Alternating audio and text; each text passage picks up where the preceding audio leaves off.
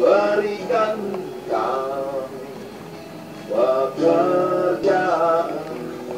Pasti kuangkat engkau menjadi manusia setengah dewa.